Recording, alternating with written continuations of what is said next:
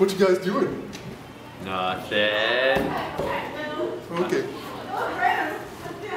Gee, I sure wish there was a way we could communicate without people interrupting us.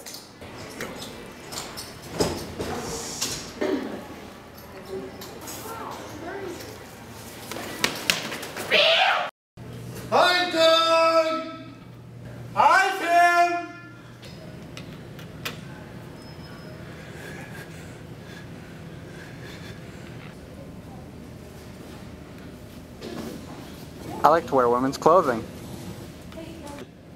Miracle Bubbles. Send messages to your friends. Did you get my message?